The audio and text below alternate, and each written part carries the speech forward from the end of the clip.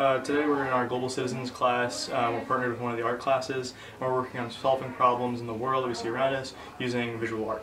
Every group now has, and you could like even shine a light through the back of the book so that like just do the whole Because, because there's other obstacles that we can also do. The primary focus is to focus on what obstacles are holding girls all around the world back from getting a good education. So we have such a great education here at Ranney that we're so grateful for and I think everyone, after seeing the obstacles, will really, it'll put everyone into perspective and see really how good we have it.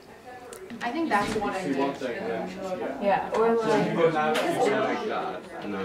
You could have something like that, and then like yeah, people can you flip it. you flip it one way and it's one thing, and then you flip it the other way and it's like an, the other side of So I the think picture. anything that really gets our message across and really helps, you know, people understand the issues that we're talking about would be the most beneficial. and there's long line photographs and like they could be all different kinds of series like how Anjali was saying the girl in the white like a girl in the white shirt and jeans Really cool because you know like art's kind of one of my weaknesses. To have someone else be able to like compensate for that and really show off their unique ability kind of really is really cool and kind of representational of you know problem solving and really helps you know uh, convey a point that otherwise we wouldn't be able to convey. And you know working you know and uniting with someone else who can do that is really awesome.